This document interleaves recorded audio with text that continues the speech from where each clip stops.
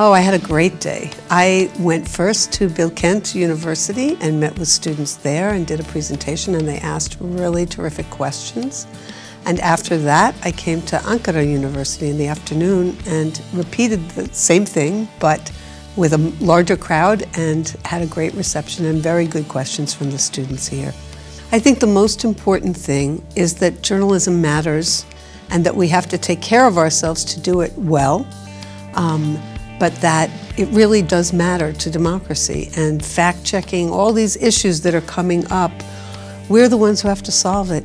It's, it's hard work and sometimes we want to blame other people or just, but we have to solve it. We have to convince the public.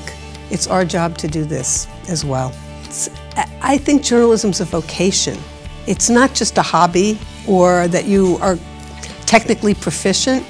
You have to have a real commitment to people can't be a journalist without being curious and really caring about people and caring about the world and making the world a better place. So some of the people who are the most proficient photographers don't necessarily have those other qualities. So they, I don't think they do make good journalists. I think it's the whole person that makes the journalist and not the camera, the equipment, and all that stuff. It's the person. Um, and so if you have that passion and desire to make a difference and to tell other people's stories, then I encourage you to try because you can learn. to, for, to, find out, to find out who you are and what you care about first, right? If you don't know yourself and don't know what you're passionate about, what you really care about, then it's hard to have enthusiasm for this job.